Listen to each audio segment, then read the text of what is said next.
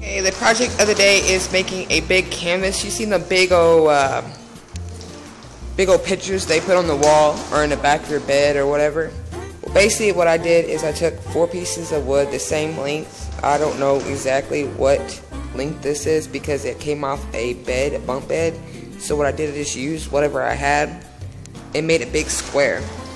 Now what I'm using is a shower curtain.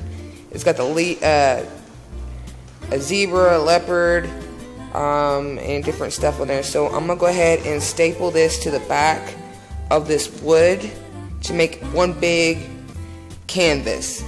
And then I will show you what I do next after that. As you can see, I stapled it all in the back. This is the front. So, I mean, either you can leave it like this or whatever design you wanted to put on there for your big picture. But I'm actually going to go a little bit bigger than this. I mean, not bigger, but like something on top of this to make it look like a real big picture.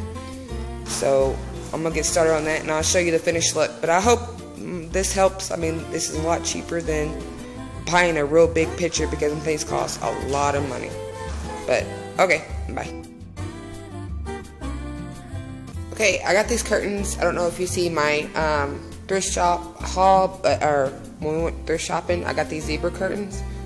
So basically what I got is some metal rod deals that I uh, put together. You could use curtain rods, but these I'm going to, they have little holes right here where I'm to screw it into the wood up here. So I'm to go ahead and do that after I get done, and I'm to show you how to style it and then where I put it in my house, and you'll see how I decorate. Alright.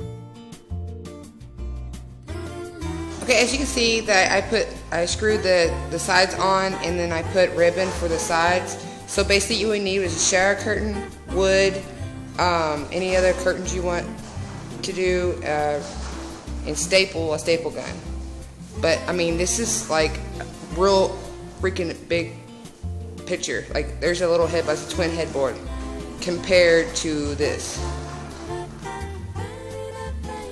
There's a little wrinkle right there I gotta take care of, but other than that, um, either you can see how the back is open, you could put lights on the back of there, have it taped down, and then have like a, a hole where the, the lights come out of, so you can, at night, you can plug it into the wall and you have this big old huge light fixture, uh, picture, but I wanted to show you what it looked like, and I'll show a picture later on, or um, in the vlog video, I'll show you how I do it. But um, I'm taking me a break after I fix this. So, alright, I hope this helped you guys.